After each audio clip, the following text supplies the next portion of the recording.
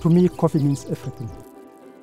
Specialty coffee is well managed coffee. It is exciting, it's amazing.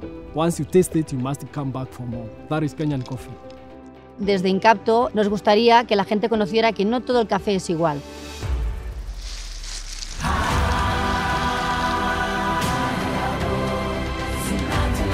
The smell of coffee reminds me just of a better life.